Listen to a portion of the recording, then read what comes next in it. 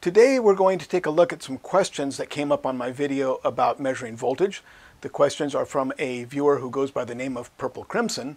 And the questions are essentially, when we are looking at these questions on the board, I have a wire that goes from the battery to the resistor. That wire has resistance. I have current flowing through it. Why don't I have a voltage drop? And the second question is, as I measure my voltage around the circuit, down here I have zero volts. At that point, how can I have current flow if I have no voltage?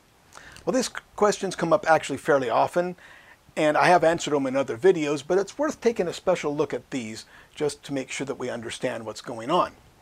So, when we look at these circuits on the board, we are looking at what we call an ideal circuit, and they are not real world in any way, shape, or form. So let's take a look at how these differ from the real world once we get out there. Let's start with looking at the battery. We assume that this battery is going to deliver 10 volts no matter how much current I take from it. So we assume if I take 100 amps, still have 10 volts. Well, that's not going to happen in the real world, and the reason is that this battery is more than what we draw on the board. A real world battery has built-in resistance. So that battery actually looks like this. I have a battery with some voltage,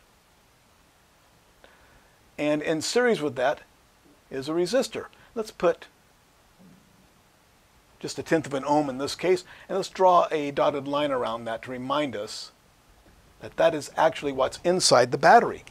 So what's going to happen when I take current from this? Let's get rid of this 10 ohms here just so that we can have whatever current we want. And let's assume that I'm taking one amp of current from that battery. Well, what's going to happen? We have current going through this resistance. That means there's going to be a voltage difference across it. Higher voltage where the current enters the resistance, lower voltage where the conventional current exits the resistance. How much? Ohm's law, 0.1 times 1 gives us a tenth of a volt. So by the time I get out of this battery, I've already lost a tenth of a volt and I'm down to 9.9 volts. So that's the real world situation. And indeed, this wire does have resistance. How much? A very, very tiny amount. So tiny that we usually ignore it. But in the real world, it's going to have some resistance. So let's say that from the battery to the resistor, we have a resistance of, well, I'm not going to draw the resistor in there. I think that might be confusing. But we do have a resistance in that wire, let's say 0.0, probably much less than that but let's make it a hundredth of an ohm just for uh, be realistic about it. So we have a hundredth of an ohm and we have, let's make that one amp again, flowing through it. So we start with 9.9 .9 volts. Now we're going to lose a hundredth of a volt. So by the time we get over to this battery, we would be down to 9 point, what would it be? 9.89 volts. So actually, we do lose voltage as we go over there in the real world. Now this is actually not realistic either because unless this battery, unless this wire is very long or very tiny, it's not going to have that much resistance. But we will have some resistance and the more current we flow through it, the more voltage drop we will have. So that's the real world situation. Then we get over to this resistor and we said that was 10 ohms.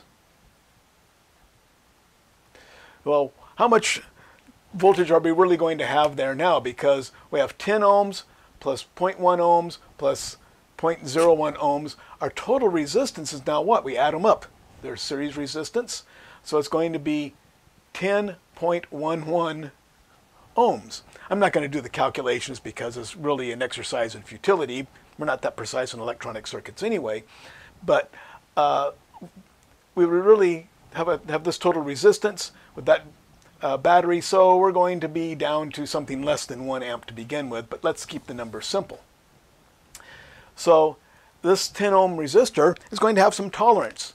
Uh, when I first got into electronics, your typical resistor had a 20% tolerance. Those are kind of rare today. Uh, resistors today are usually 5% tolerance at worst, and we have precision resistors that are fairly inexpensive, but still there's going to be some tolerance. So let's say this is a 5% uh, tolerance that could be, I'm not going to calculate the numbers. I can't do it in my head, but that's going to be either a little above or a little below 10 ohms. So that's going to skew everything anyway. So real world, all these numbers are simply not going to add up. But as uh, Purple Crimson asked, why don't we have a voltage drop here?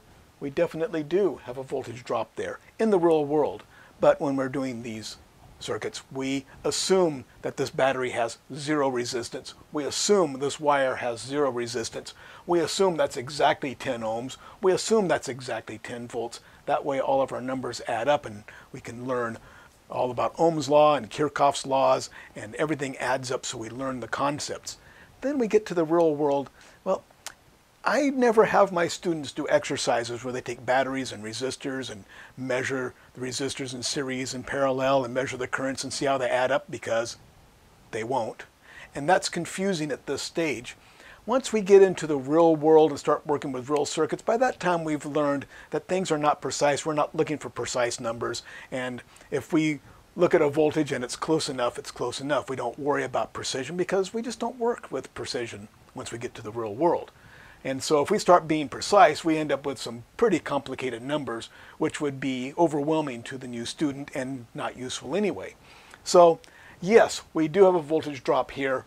We just ignore it when we're doing the practice circuits. Real world, it's really there. Sometimes it matters. So we do have a voltage drop here. We just ignore it when we're doing the exercises on the board just to keep things simple. Now let's look at the other part of the question, or the other question, get some of this clutter out of here. And that is, when we get down here, we have zero volts. How can we have current flow with no voltage? Well, why do we have zero volts there? Remember what a voltmeter tells us. We have a red lead and a black lead. I avoid calling them the positive and negative because you might put the black lead to a higher voltage and the red lead to a lower voltage. What happens then? We get a negative reading. So I try to remember to refer to them as the red lead and the black lead. And normally we put the red lead to the higher voltage, the black lead to the lower voltage, and we get a positive reading. We swap them, we swap them, we get a negative reading. So, what's happening here? Well, when we have zero volts there, that means that we have decided to measure our voltage from a reference point, which the most logical place to do that is the lowest voltage in the circuit. So we anchor our black lead right there. Now what does the voltmeter tell us? We have two leads and the voltmeter tells us the difference in voltage between those leads. Remember, voltage is always a differential. One voltage is meaningless unless we have another voltage to compare it to. So what we have is our black lead here, and now we're putting our red lead at different places around the circuit to see what the voltage is. And so like here I'm going to see 10 volts, here I'm going to see 9.9 volts, over here I'm going to see 9.98 volts, assuming that that's really as much resistance as it is. And then I get down to here and I have zero volts. Why? Have I run out of voltage? Remember the mantra. Zero volts is not an absence of voltage.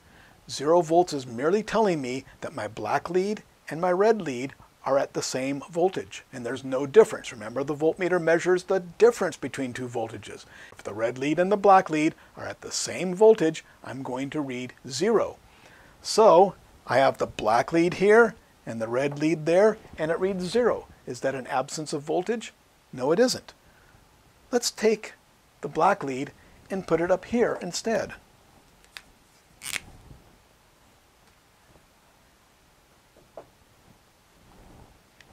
Now what am I going to read when I put the red lead here? Well, I have a difference of um, 10 volts. Let's just assume it's a perfect 10 volt battery. So I have a difference of 10 volts. The black lead is at the higher voltage. The red lead is at the lower voltage. By design, the meter gives me a negative reading of the voltage difference. The difference is 10 volts. And black lead higher, red lead lower, I see a negative 10 volts. So now I put my red lead here. It's minus 10 volts. There is not an absence of voltage. It's a negative voltage. Another way to look at this, I find that a lot of people get confused, even people that have experience and should have grasped this by now. How can I have current flow when I have no voltage here? Well, we've just shown that we don't have no voltage. We have definitely have a voltage there. It's minus 10 volts, it's a negative voltage. What does that mean? Well, before we move on, let's look at a concept where you would not have a problem with this. How about an air conditioning system or a refrigeration system? Here we have a motor and pump, some pipes that carry refrigerant,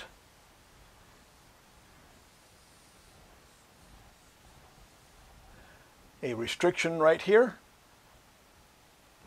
And so the pump is, let's make that a P instead of an M. The pump is pumping the refrigerant in this direction. So what happens? Just like an electric circuit, I have a current flow going here. It hits a restriction, which is like a resistor. I get a backup of pressure behind it, so I have a high pressure on this side and a low pressure on this side because just like a resistor, I have a backup where there's a higher pressure where the fluid enters the, the restriction or where it encounters the restriction. So a high pressure where the fluid encounters the restriction and lower pressure where it leaves the restriction. Just like voltage, remember voltage is electrical pressure. So we have an equivalent of an electrical circuit. Pump pumping the fluid around, restriction, high pressure where the fluid enters the, encounters the restriction, low pressure on the other side. And you can see this if you look at the air conditioning system on your car, you'll see there's two little measuring and filling ports. One uh, has a little H on it, the other one has a L on it, the high pressure port and the low pressure port, so you know which side which is on. And uh, what happens, of course, this isn't important to electronics, but this gets high under high pressure, it gets hot, we blow air across it, blow that heat away so it takes away energy. When it expands, it gets cold. We blow a fan across there to uh, cool off the other side, and that's how an air conditioner system works. But of course, it's like an electrical circuit. We have the pump, which is like what? The battery. It circulates the fluid around. These are like the wires. Restriction is like the resistor. We get the high pressure where the fluid enters, low pressure where it exits. Now, we have a high pressure Low pressure, lower, lower, lower, lower, lower, and it gets lower and lower. But in this case, we don't have a problem with the concept. Well, the pump sucks it in and pushes it back out, and therefore it keeps circulating. But if we go to the electric circuit, we end up, because of the way we've analyzed it and the way we've learned about it, we have a problem there. Because we don't look at a circuit usually as what it is, a circuit. This is a pump. This is the restriction. These are the wires. This pumps the electrical fluid in that direction, just like the pump in the air conditioning system. So the battery sucks the electricity in and pushes it back out. If we look at it that way, then we see the concept, oh, the battery's acting like a pump. But when we get in our minds, okay, we have to have voltage to get current flow. We have 10 volts, 9.9, 0.10, oh my gosh, we have run out of voltage. We can't pump anymore. So if we look at it that way, we get confused because we're looking at, well, we have to have voltage to get the current to flow. But remember, zero volts is not the absence of voltage. We actually have a suction here, a negative voltage that is sucking the electricity in. Now, of course, we're talking conventional current. In electron flow, it's really going the opposite direction, but I, like almost everybody in uh, academia and in the industry pretend that electricity goes the opposite direction. Doesn't change the way things work, it just makes it easier to wrap our minds around what the circuit is doing. So we have the battery acting as a pump, pushing the electricity out one side and sucking it back in the other. So the fact that we have zero volts here is, is not actually the absence of voltage, it's just because we have both leads at the same point and there's no difference between them. But we find that there's actually, if we look again here, there's our negative lead. Now our positive lead here, we say, oh, if I reverse the leads, I have minus 10 volts, assuming that's a 10 volt battery again. And, ah, well, there's 10 volts of suction, sucking that right back in. Now we see the concept that this is a pump circulating electricity. It's not a fact that we have to have a voltage at each point to push the electricity through. Here's the impetus that keeps the electricity going. And it just came to mind there's another way to look at this, of course. Uh, we don't look at, oh, there's so much voltage here. Let's put a couple of resistors here. I think it'll help us with the concept. Okay, our usual way of looking at this is, okay, we have 10 volts here, we have 7 volts here, we have 0 volts here. So there's 10 volts here pushing the electricity this way, 7 volts are left to push it that way, and now we, oh, that's what confuses us.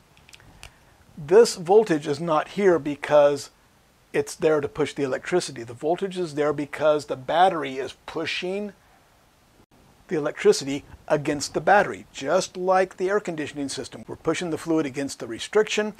We get a backup of pressure behind the restriction. So we don't have pressure at the restriction because it's there pushing the current. The impetus is at the pump. And the pressure is there because we're pushing it up against the restriction. So we don't have 10 volts here pushing the current. The 10 volts is over here pushing the current against there. It backs up. We get a higher pressure here because it's backing up behind it. Here we only get a backup of 7 volts, but we don't have 7 volts pushing the electricity through the, the resistor. We have 7 volts because the battery is pushing the electricity through the resistor and we get a backup of voltage behind it. And down here, well now, the battery's sucking it back in. We don't need to have a voltage here to push the electricity. The battery is what causes all that impetus. So don't think of this as voltage pushing the electricity. Yeah, if we analyze it we can look at it that way, but don't think of it that way because that's not what's really happening. So here's the impetus to push the electricity here. These are the consumers and we have a backup of 10 volts here. We have 7 volts left to back up over here. Now we've uh, reached the negative side of our battery and it's being sucked back in. So that's what happens there. So I hope that answered your questions. If it didn't, be sure to ask again. Anytime you have questions, be sure to put them in the comments. If I have time to answer them, I'll certainly do it. Sometimes other people step in and answer the questions, which is good to have that communication on the comments of these videos. If you found this video useful and informative, please give me a thumbs up down below. It really helps the channel. And subscribe because that not only informs you when I put new videos up, but it really helps the channel also. And a big thank you to my patrons at Patreon. I could not make these videos without your support. If you want to help me put these videos online and keep real vocational education free at vocademy.net, you can go to patreon slash join slash vocademy and pledge your support. And again, a big thank you to my patrons who make this possible, and a big thank you to everyone for watching.